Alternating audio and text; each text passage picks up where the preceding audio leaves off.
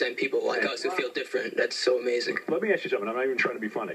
Would you uh, give Marilyn oral sex? No, You don't love him that much. I would hug him. You would hug him. Yeah, definitely. Come sit over here. Come and sit next to oh, Marilyn and hug her. Wow, Marilyn, this is gracious of you. This is gracious of you. If you get a hug, let me see. Oh, ooh, ooh, ooh, there's something wrong. Oh. Something